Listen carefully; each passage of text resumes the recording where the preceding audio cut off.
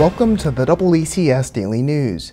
The Attleboro Historic Preservation Society took a deep dive into Attleboro's history in a recent presentation as they pulled out and examined a number of archival documents and photos. We spoke with presenter Rachel Killian. Tonight I presented from the archives, so summer of 2017 and 2018 I've been working with Marian Wrightington cleaning out the archives, reorganizing them, kind of rediscovering some of the old collections. And as we come across old photos and old slides, I've been trying to scan and digitize them for preservation. And so I thought people would like to see some of those old photographs that most people don't get a chance to see.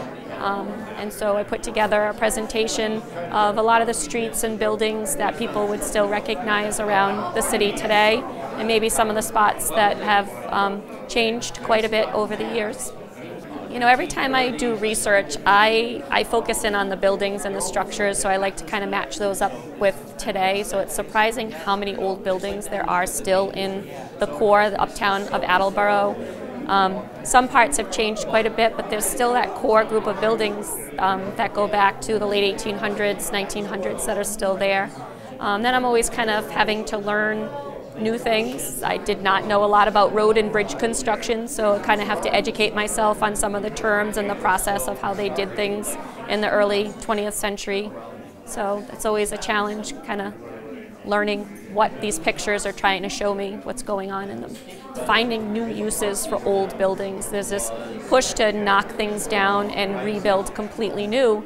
And some of these old buildings, they're just, they're so solid, they can't be duplicated in today's standards. And so to find a new way to use them, I think gives the new businesses a lot more character and it gives them something to kind of show off to their clients, to their business, and um, take pride in the history of their building while using it for a new purpose.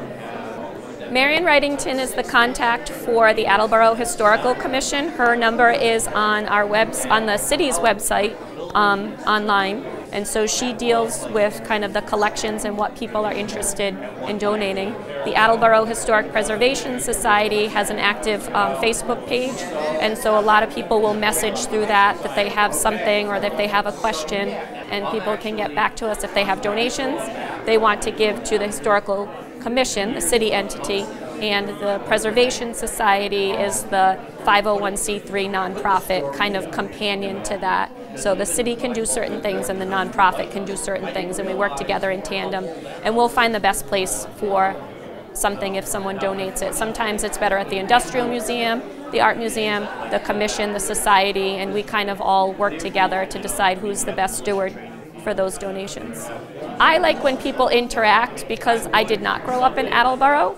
And so to hear other people's stories, you know, the bus station downtown or the fish market, you know, everybody has something different and everybody sees something different in the photos. So I'm constantly learning from the people that come to the presentations.